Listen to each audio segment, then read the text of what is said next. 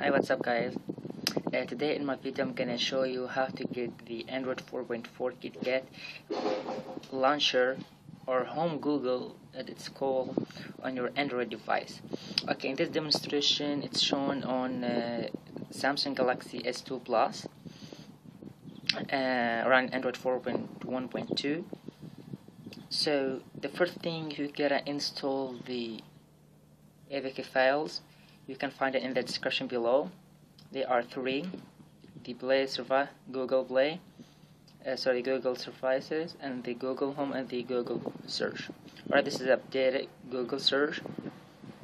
First install the Google Play Services then uh, the Google Search then Google Home. And after that don't open any of them. And after that uh, uh, press the home button uh, to launch the launcher or the Google Home. Alright uh, after installing just press it and you're gonna get the Google Home and, and your launcher. Uh, this is the the launcher. Uh, as you can see it's uh, very smooth.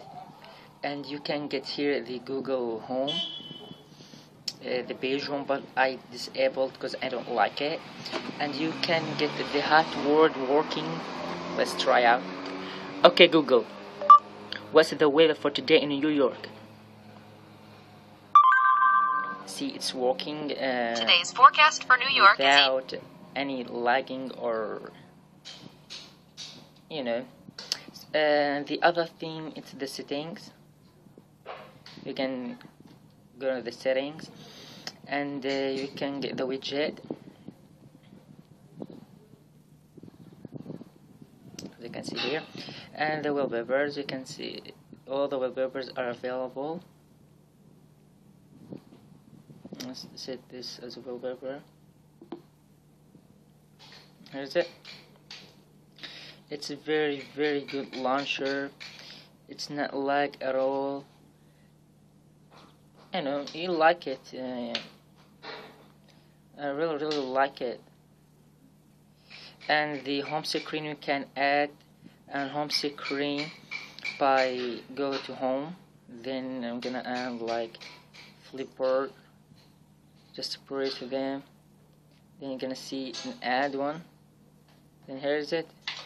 And if you the page will uh, empty, it will be deleted here it and you can see it's everything is quite smooth opening folders very very brilliant. Mm, what else? Mm. so that's it guys. This is the Android 4.4 KitKat on your Android device. You can download all the files APK files in the description below. Don't forget to like, comment, subscribe for more of my videos. Peace.